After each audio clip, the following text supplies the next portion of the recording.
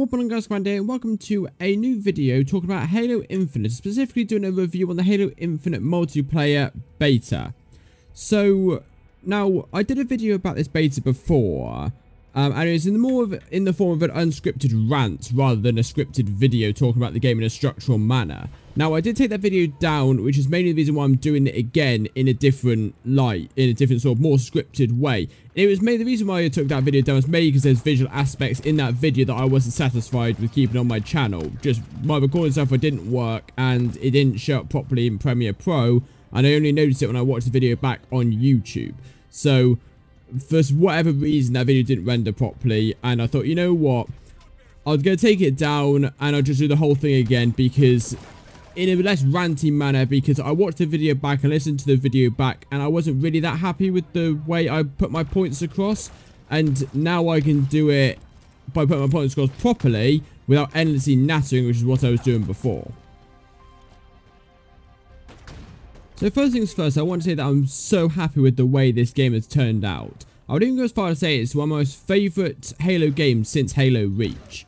The weapons feel really solid, from simple weapons like the AR and BR and the sidekick, which surprisingly complement each other when used correctly. And then you have the power weapons like the energy sword and the rocket launcher, which are insanely fun to use and can either provide really easy kills or just outlandish chaos depending on how well you use it.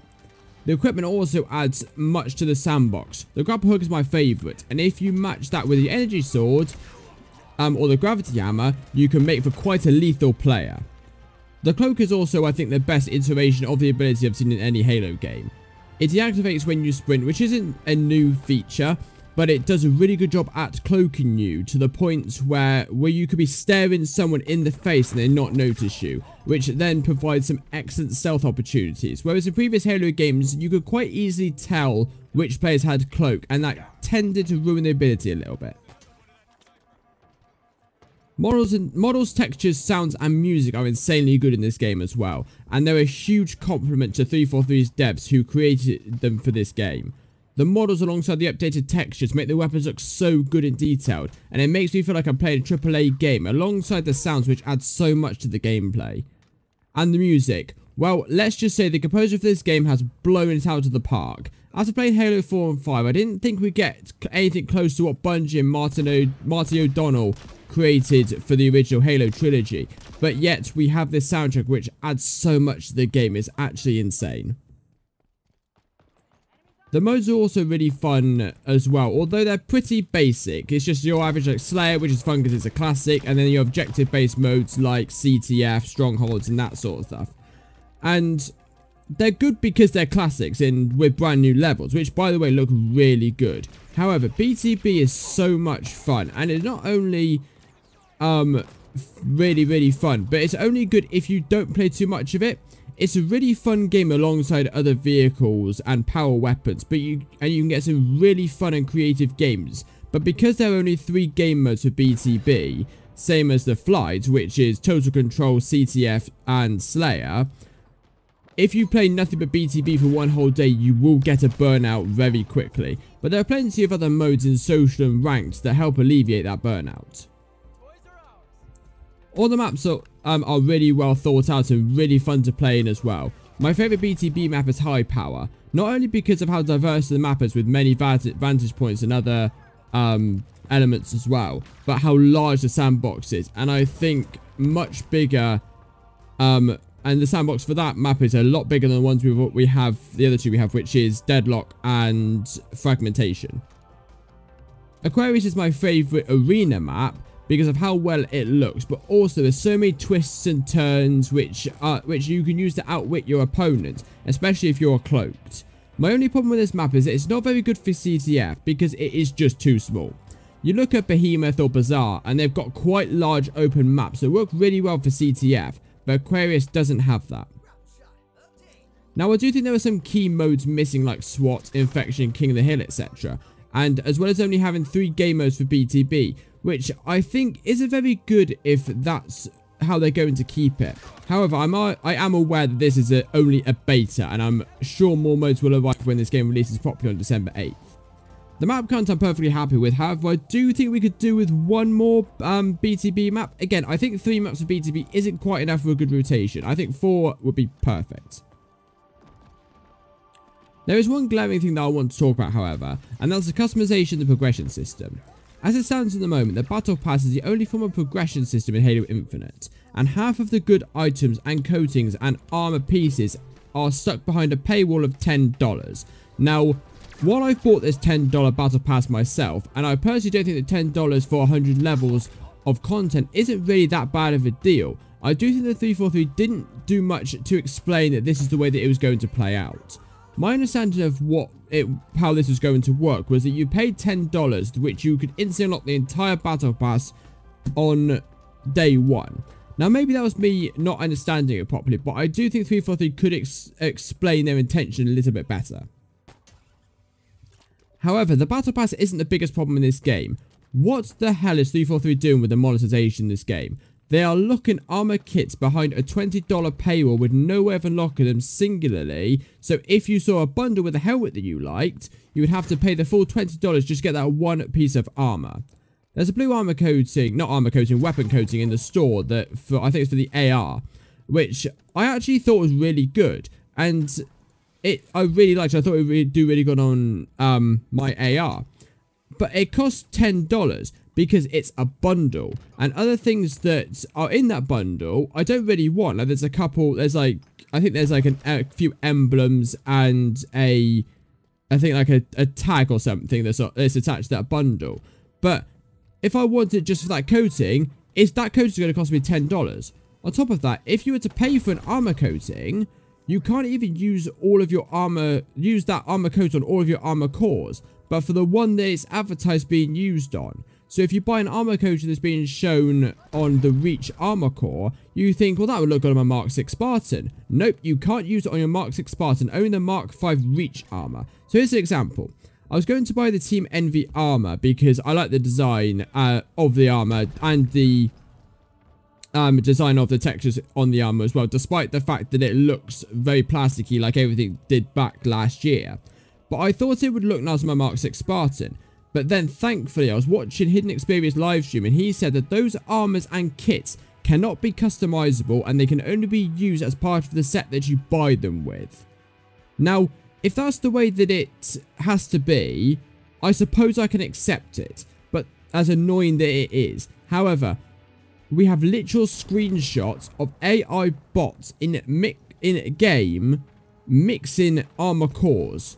So mixing armor from different cores. So that feature is there, but it's only available for bots and not players. This annoys me because customization is a key feature in Halo ever since Halo 3. And so much that so much so that people create little stories with their characters given and giving even giving their players a little bit of a backstory. And why it wears a certain armor that it does and how it became a Spartan. That's a community advantage that most free-to-play games don't have because of their lack of customization.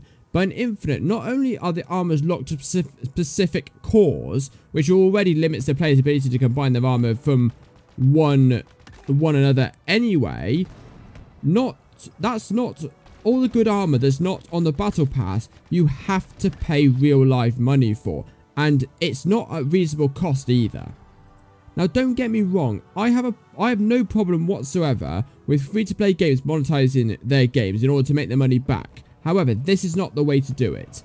There are people like me who takes great pride in how my Spartan looks in-game.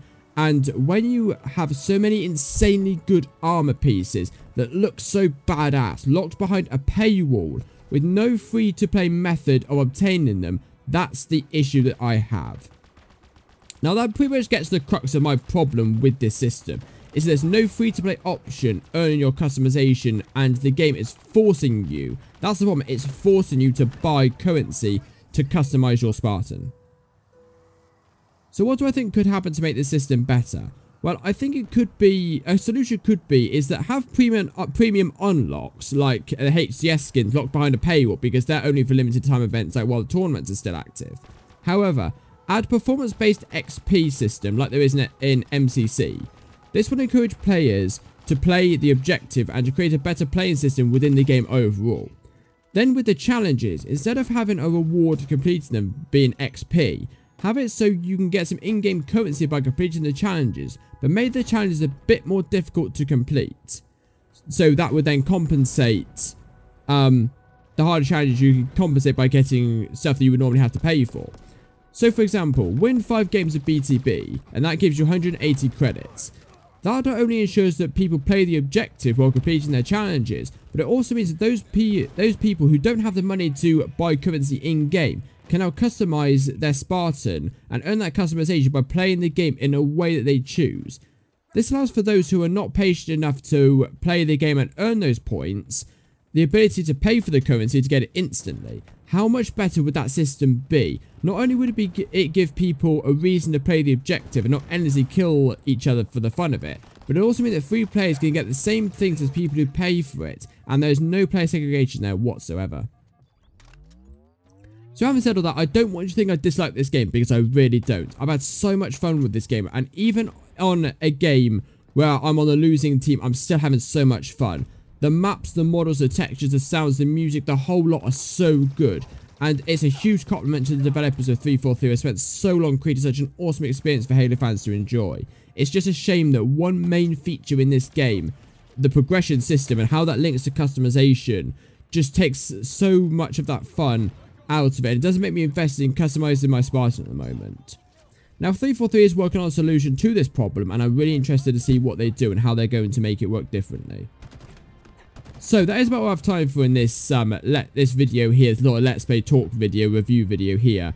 Um again, I just reading my script and writing it, I'm much more happy with how this um video has come about. And it's also a lot lot shorter as well. Like i've been recording for 12 minutes whereas the other one was all like 20 minutes. It's originally 33 so anyway i hope you guys have enjoyed this video and me give my thoughts on the halo infinite multiplayer. And like i said i love this game to bits i've had so much fun playing this game it's just the key two key fundamentals of this game being progression and customization i've just got no interest in at all at the moment because of how it's monetized. And again, I'm not against monetization in games, but they need to do it properly. Especially in a game, you know, people turn around and say, you know, you look at like Valorant or um, Fortnite or Apex, and they've got uh, paid, they got customization battle pass in them as well. But the problem is with those games is that customization is not a bigger factor as it has been in Halo since Halo 3, like what, like 15, 16 years ago. You know, for that whole 16 year period, customization has been a huge part of Halo.